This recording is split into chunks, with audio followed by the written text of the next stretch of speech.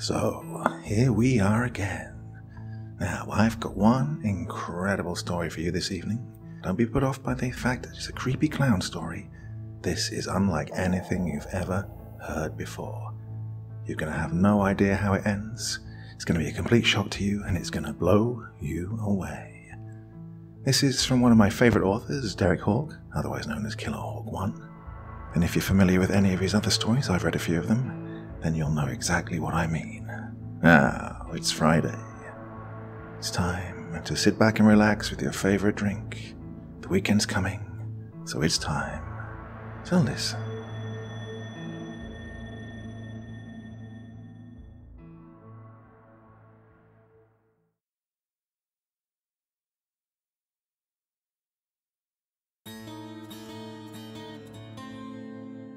Courtney poked her head out of the window of her second floor bedroom. The neighborhood was still and silent under a haze of mist and a light drizzle. The streetlights illuminated the fog into glowing amber orbs that hovered above the streets and sidewalks. All of the houses that lined the residential road were dark and still. Courtney paced from one side of her room to the other. She waited impatiently for her parents to settle in and go to bed for the night. It was close to eleven before she finally heard the heavy footfalls of feet going up the stairs to the master bedroom on the other side of the house. Slipping one leg out of the window, then the other, Courtney carefully placed the tip of her toes on the bracket that secured the drainage pipe to the house. She was mindful of the light drizzle that coated everything, making it difficult to get a good grip on the slippery metal housing. The fit girl shimmied down the thin pipe with expertise and dropped to the ground for the last six feet. She pulled out her phone to check the time. She had just enough time. Courtney calculated, after a brisk jog to the subway station, two stops and another fast paced walk, she would make it with just enough time to spare. The girl still couldn't believe she was going to all this trouble for a boy she barely knew. Courtney never did anything like this. She never lied to her parents or snuck out of the house in the middle of the night. In fact, it was usually the boy who did this kind of thing for her, not the other way around. But there was uh, something different about him. Whenever he was around her, she felt flustered. A slow burn emerged from her core, making her cheeks glow hot and caused her to stumble over her words. His aroma was nothing but intoxicating to her. She hungered for him. Yes, that was the most accurate description of her feelings towards him. She hungered for him. When she was next to him, nothing in the world was wrong. However alone, Courtney would ponder the events and wonder how they got to this point. She was always the careful and cautious type. This behavior was so out of character for her. She knew virtually nothing about him. She didn't know what school he went to, or what he did in his free time.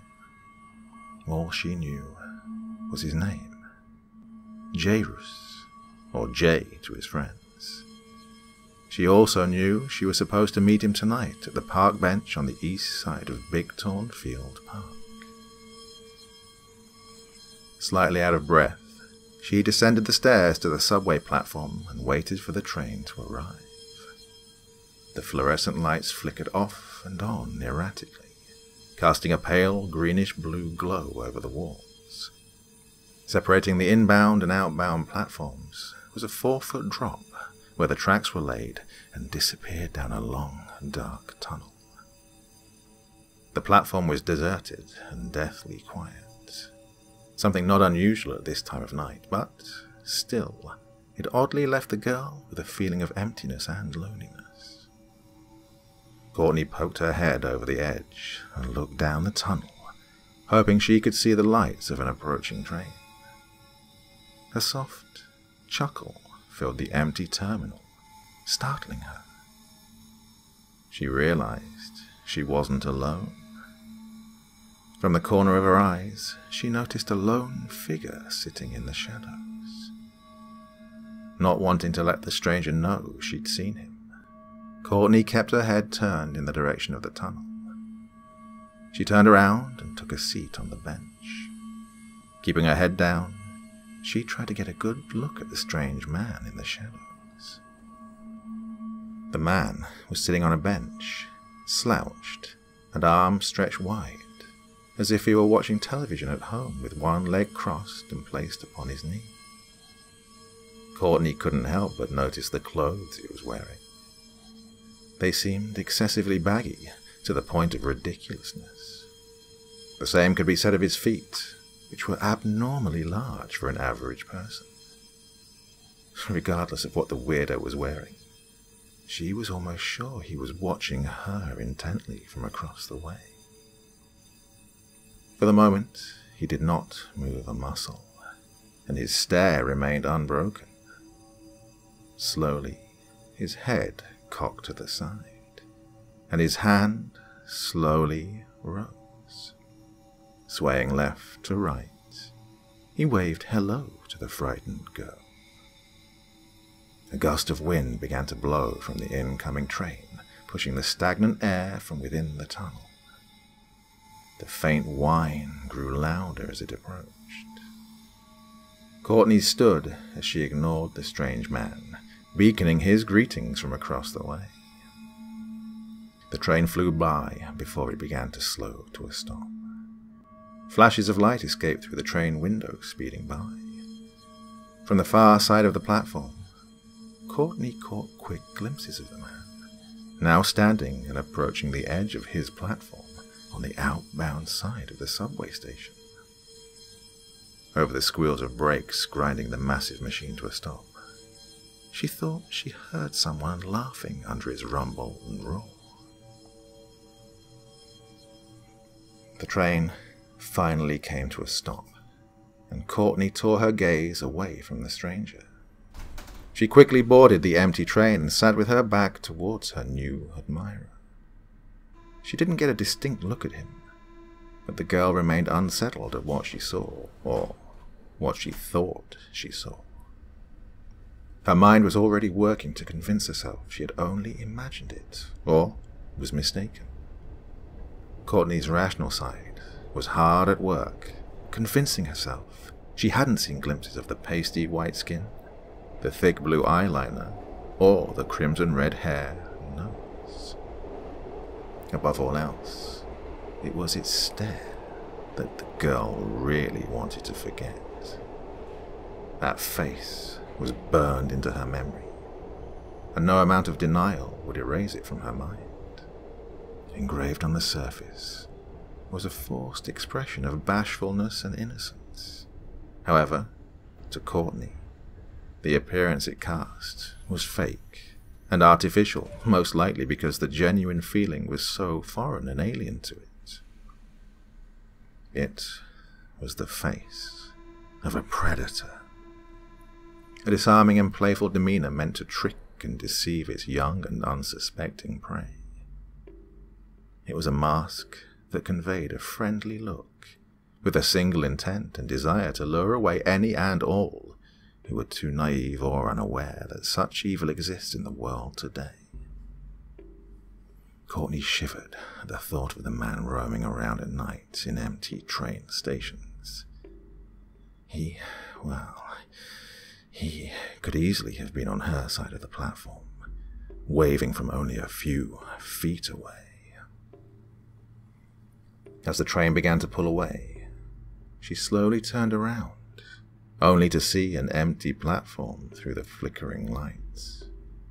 Rows of dirty and empty benches soon vanished into the distance as the train accelerated and sped away. Courtney sat alone on the train, still feeling unnerved. The loud clanks and bangs of the train's wheels against the tracks rocked her back and forth, preventing her from relaxing. Her mind kept returning to that empty platform across the way, and the weird man slouched on the bench in the shadows. Courtney still refused to believe what she'd seen in those brief flashes of light. What would a man, dressed up like a clown, be doing in a subway station in the middle of the night? Ah, like everyone else, she'd heard of the clown sightings. Everyone at school was talking about it. It seemed like everyone knew someone who knew someone who'd experienced a clown encounter. They told stories of near misses or chilling, nerve rattling chases along deserted hiking paths. Sometimes they just stared at you. Yes, they just stared. With time to spare, the train slowed at Courtney's stop. She waited impatiently for the doors to slide open. A bing rang over the intercom, and a monotone voice announced that they had arrived at her stop. The train slowed. It took its time before it entirely halted and the door slid open. Courtney froze in place. As hard as she tried, she could not deny what her eyes were showing her tied to a bench on the far end of the deserted terminal, was a large crimson balloon. It floated nonchalantly in the air, as if it belonged there. Printed on its surface were the big black letters that spelled, Good Girl. Courtney raced up the stairs, farthest from the peculiar balloon left on the bench. The past events were too strange for her to ignore. Was it a message? Was it a warning? Was someone messing with her? Was someone after her? Courtney walked briskly along the deserted streets, mindful of her surroundings. She would frequently check over her shoulders at the sounds of the second set of footsteps she imagined she heard from behind. She decided to cut through 51st and a half Street and cut across Cross Grove to get to the park. Courtney stared down the long, dark alley and cursed herself for her current predicament. It was the type of alley seen in every goddamn horror movie, where they would find the goddamn body of the goddamn stupid girl who'd snuck out of her house in the middle of the goddamn night. Courtney began to walk down the alley. On the other side was the entrance to the park and Jairus, or Jay as he liked to be called, Courtney reminded herself. She tried to avoid the puddles collected amongst the cracked and broken asphalt. A swoosh and fluttering from above startled her. She looked up, only to see the buildings vanish into the night. The drizzling had stopped, but the moisture hung thick in the air, and the streetlight gave the mist an amber glow to its hue. Courtney held her breath and listened intently to the silence. She stood completely still until she heard the faint tip, tip, tip, splash from behind. She turned to see the distant shape of a man standing in the entryway of the alley. He stood tall, rigid, and still, staring at the lone girl. Courtney ran the remainder of the way into the park. She stopped to catch her breath and took in her surroundings. Her situation hadn't improved very much. She was alone, in the middle of the night, in a deserted park. A faint light illuminated the path and branches of trees stretched up towards the night sky. She continued forward toward her destination. Every once in a while, the branches from above would rustle as if something light and graceful was leaping from one tree limb to the next. Sometimes it was so close she could feel the air swoop by and move the hairs next to her ears. Courtney had reached the end of her tolerance. She'd had enough and stomped her foot and yelled. Listen, asshole, I've had enough. My friend is just over there, and if you don't take off before I reach him, you're going to get an ass kicking you won't soon forget. Courtney turned on her heels, mumbling under her breath. Asshole. As she marched toward the lone bench by the creek on the far side of the park. It wasn't long before she heard voices from around the bend. There were whoops and hollers from young voices, seemingly having a good time.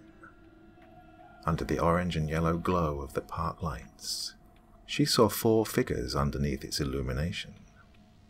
One stood still, with his arms crossed, staring off into the distance. The other three jumped off and onto the park bench and table, swinging from the light posts, apparently entertaining each other on this dreary night. As Courtney drew closer to the bench, the lone figure uncrossed his arms and looked up. With a genuine delight, he said, Babe, you made it. I was beginning to worry you wouldn't show up. He took the girl and embraced her in his arms. He buried his face in her hair and inhaled deeply, saying, Mmm, I missed you so much. Courtney took in the embrace, and the flood of infatuation and emotions made her light-headed and flustered. She lifted her eyes and saw the silhouettes of the three strangers watching the spectacle intently. They slowly drew closer, with their heads slightly cocked to the side. The odd behavior was enough to clear her head momentarily. She pulled away from Jay and asked, Who are they? Jay gestured in their direction, dismissingly, and said, Oh, them. They're nobodies. They're family. Don't mind them. Courtney looked at the three figures behind Jay and said, I thought it'd just be you and me. The taller of the three strangers stepped forward and called out, Jairus. He spoke in a guttural language that Courtney could not identify.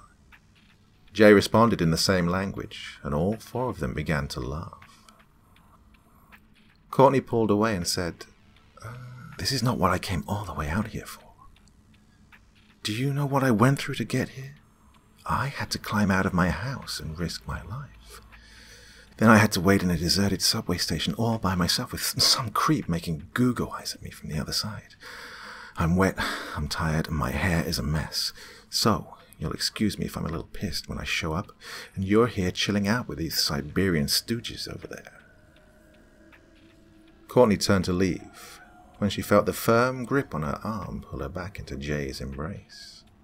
He whispered into her ear, Ah, I'm terribly sorry, my little platelets. The truth of the matter is, we all have to endure these mild inconveniences from time to time. Perhaps that is a lesson I should teach you this very night.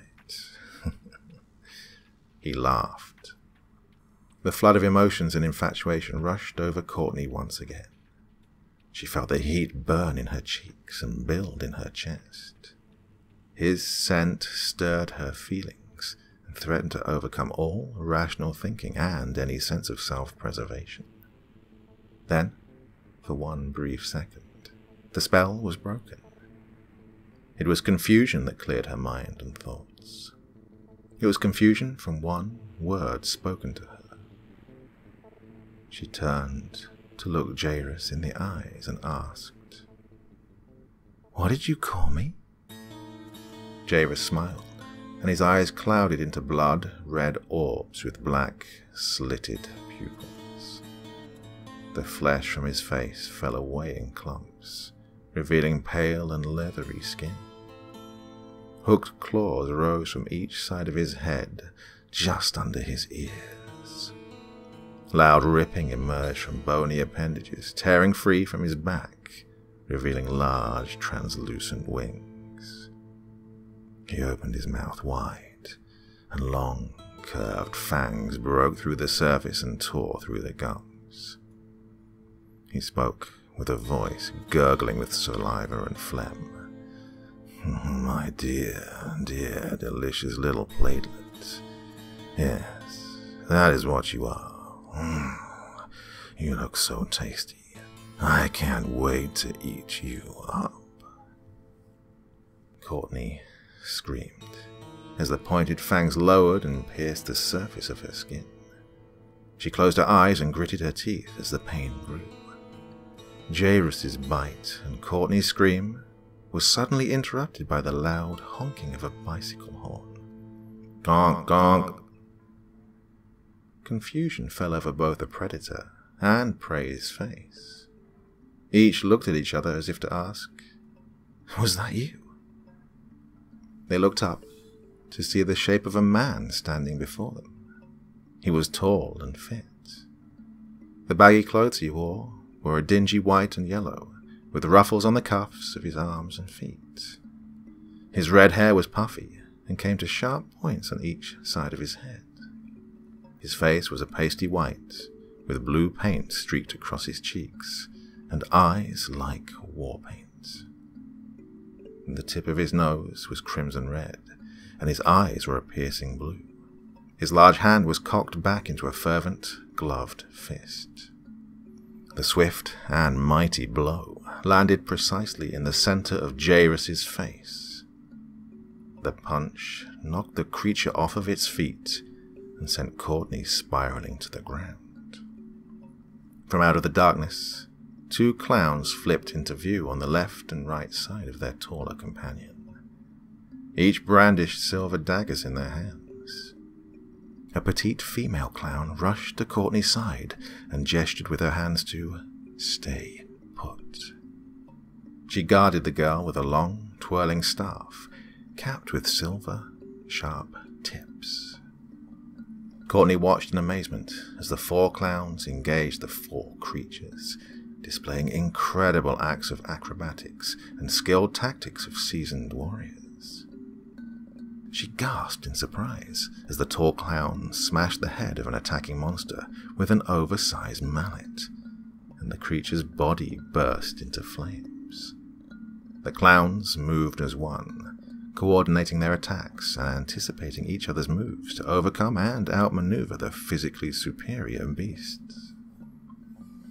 Jairus flew and perched upon a low hanging tree branch and maliciously glared down as one after another of its brothers fell to the skills of their enemy. It scanned the scene and smiled when it saw Courtney cowering on the ground and decided that tonight should not be a total loss. It leapt down, landing beside her, and took hold of her long, wet hair. With a sudden swoosh, it saw its hand separate from its wrist. The glint of a silver boomerang sparkled as it returned to the palm of the smaller female clown. Courtney stumbled backward, slamming hard into a tree. As the darkness of unconsciousness slowly bled over her vision, she saw the four figures quickly surround the nightmarish shape. They stabbed and jabbed at the creature until it burst into flames, and Courtney saw no more. Courtney opened her eyes.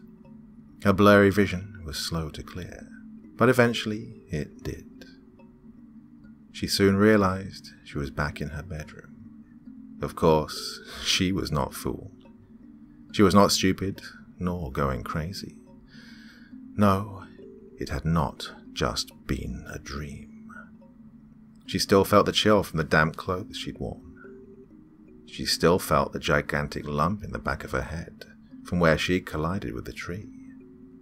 She could still feel the sting from the two puncture marks along the side of her neck. Most importantly, she could see the giant crimson balloon bobbling in the air with big black letters that spelled Good Girl.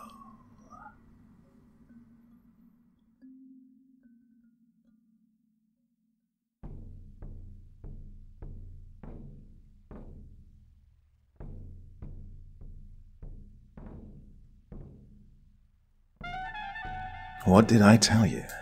Didn't see that coming, did you? What a fantastic story. Thoughts and comments below, please. Looking forward to discussing this one especially. Well, I'll be back again real soon, but that's enough for me for one night. You have a great weekend now, okay? Back again on Monday, but for now, bye bye.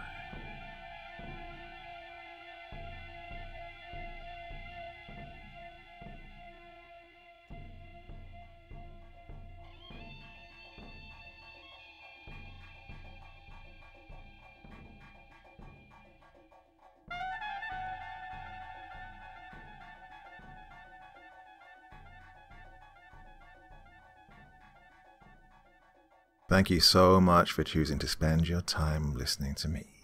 Now, if you enjoyed the Dr. Creepen experience, then come find me on Facebook. Come chat with me on Twitter. Listen to the background music and download it if you like on SoundCloud. Drop by the store, pick up a t shirt. And, importantly, if you've got a story you'd like me to read, send it to Dr. Creepen's Vault, the subreddit I set up so that I could read your stories.